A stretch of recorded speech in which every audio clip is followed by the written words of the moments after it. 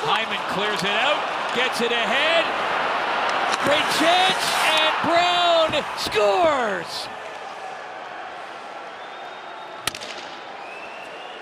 Brown with the first goal the other night, and likewise on this night.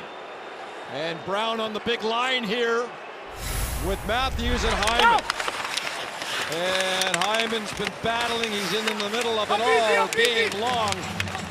And that ends up puck possession in the Leaf zone. And then a poor play there in the pinch. And Brown just sneaks in behind the defense. Five-hole Neuvirth. 1-0 Leafs here. Midway through period number two with a nice shot as he gets Neuvirth moving back into his net.